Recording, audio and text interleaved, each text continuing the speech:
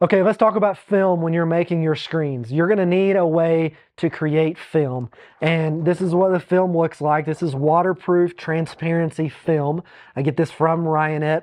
And you can see the print on here is actually uh, UV ink that's printed onto here and it blocks UV light from getting to the emulsion in my screen. So this is how we're gonna create a stencil in our screen. And so we wanna make sure that we have film or have the capability of printing film with UV ink. Now what you can see the printer I'm using right here is a Canon IP8720 um, and it's a great little printer. It's only 200 bucks on or 200 250 or so on Amazon. Um, it's a great printer. I used to use the Epson 1430, the Artisan, and while it was a great printer, it's uh, it's it's not produced anymore. So getting parts and repair um, uh, not as easy. But you want to make sure that you have a good printer, and I recommend this IP8720.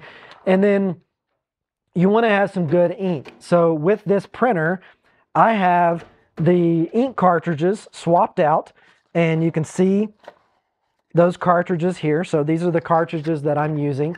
These are made for the Canon um, EP80, IP8720, just like I have here. And then these ink cartridges actually come with this ink, but I have more ink as for it. And this is from Film Direct. That's where I got the cartridges.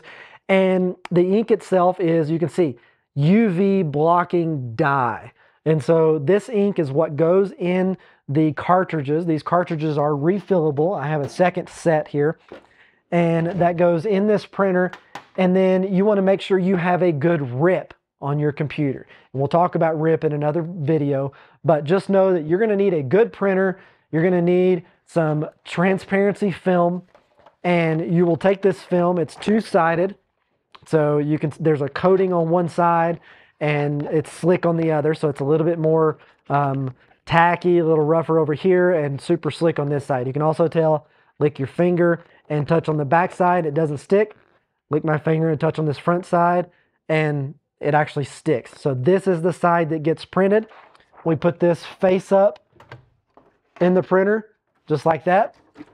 We'll make sure you have everything extended. And then I send the artwork to here and it's gonna print using that UV blocking dye. And that's very important because you wanna make sure that, that these transparencies are not printed with regular ink. If you do print them with reg regular ink out of just a standard inkjet printer, the ink that comes with this printer, in fact, um, then you're going to be minimized the amount of time you can expose your screen. So you want to make sure that you have that UV blocking ink. You're going to get much better exposures. If you have just standard ink, you're going to have to set your settings so that you print as, as much ink as possible on that transparent transparency to make sure that you get as much light blocked as possible, but you're going to be minimize the amount of time you can expose your screen because light's going to leak through that print and you're going to be able to hold that up to the light and see that it's leaking through and it's not blocking completely. So Canon IP8720, you can get it on Amazon. Um, and then filmdirect.com to get the UV blocking dye and the cartridges that swap out, but make sure you have a good rip. And I use the PrintFab rip, which you can get from filmdirect.com. All right, so that's the good film printer. There are a lot of options out there. You can do the large Epson, you know, roll printers. Um, you can also order the film from other companies. I sell the film. If you want to send me the artwork, I will print film and send it to you. But otherwise, if you're going to print your own film, this is a great printer to start off with. Uh, it's a workhorse and it will last you a long time, but it's also affordable enough that when it does break down, rather than fixing or going through downtime, very easy to spend another couple hundred bucks, get another one off of Amazon, and know that you're good to go.